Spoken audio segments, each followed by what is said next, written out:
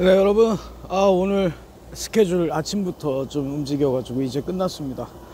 아 이제 아 뭐 좀 먹어야 되겠다.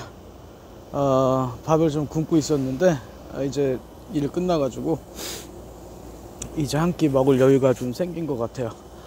아이고 여러분들께서도 끼니 거르지 마시고 음 요즘 요즘 같은 시, 시절에 끼니까지 걸으시면은 많이 더 우울증이 올라오실 테니까 아 끼니 거르지 마시고 꼭 식사하셨으면 좋겠습니다.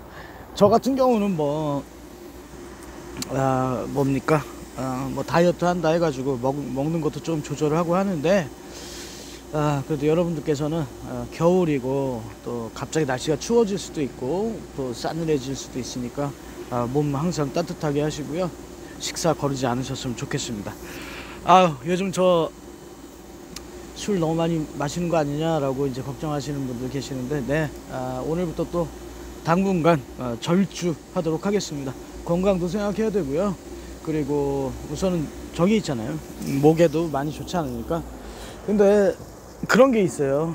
딴 게 아니라 음 저도 아 요즘 그 노래를 못 부르니까 이 스트레스가 잘 풀리지가 않네요. 술을 뭐 마시면 스트레스 풀려고 마신다고 하는데 확실히 무대를 잘 서지 않고 아예 잘 서지 않고가 아니고 거의 무대를 못 쓰니까 노래 불러서 좀 풀리는 그런 스트레스들이 있는데 그런 게 잘 해결이 안 되니까 저도 좀 그런 것 같습니다. 하지만 뭐 여러분들께서 같이 고, 고통 분담하고 계시잖아요. 그러니까 저도 절제하고 어, 또 술 먹으니까 또 말도 좀 거칠게 나가는 것 같고 그러니까 그런 부분 절제하면서 잘 추스리도록 할게요. 네, 걱정 끼쳐드리지 않도록 노력하겠습니다.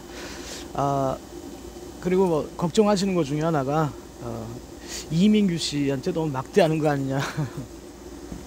네, 이 방송에서 보실 때 아, 유튜브 영상으로 보실 때 그런 부분이 많이 거슬리시는 것 같기도 해요. 네, 그런 부분 조심하겠습니다. 그런데 한 가지 확실히 말씀드리는 거 아, 나쁜 뜻은 없고요. 아, 민규 씨하고도 이제 방송 찍을 땐 좀 약간 뭐 컨셉은 아닌데 약간 뭐 더맨더머 같이 주고받는 쪽으로 한번 좀 재밌게 얘기를 풀어보자라고 하다 보니까 그 구도가 조금 과하면 여러분들께서 아 그래도 아, 민규 씨도 나이도 있고 한데 좀 너무 막대하는 거 아니냐 이렇게 보이실 수도 있나 봐요. 네.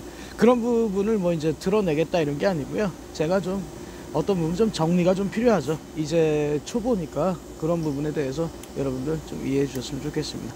저는 이제 좀 피곤하니까 들어가서 아, 이제 밥 먹고 좀 자도록 하겠습니다. 오늘 인사는 여기로 마무리할게요. 네.